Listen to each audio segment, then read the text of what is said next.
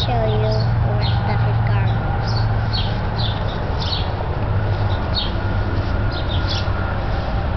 Here you can see pollinate.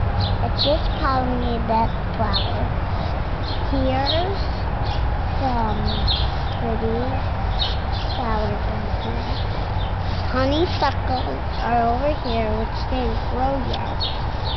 Here's some more tiger lilies. Here's Oh, those are beautiful. Another. Mm.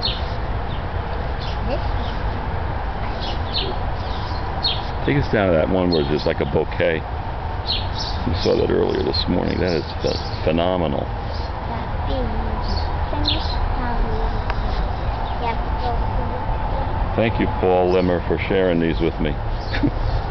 I got a bee up on that one there.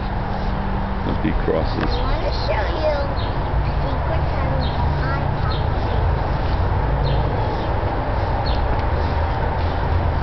Close. Secret gate. Ooh.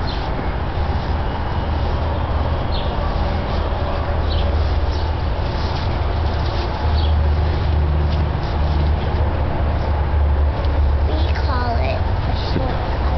Okay.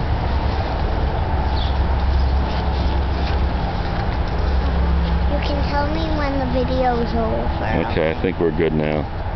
You want, you want to say goodbye to everybody? Thank